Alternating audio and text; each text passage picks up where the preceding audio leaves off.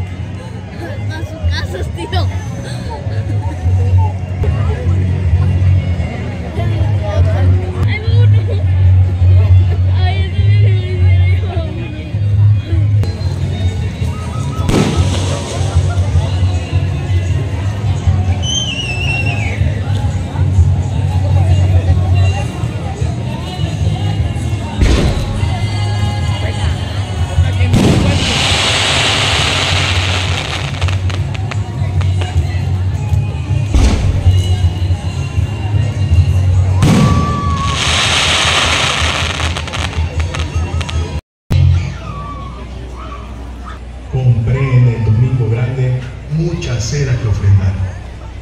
Esta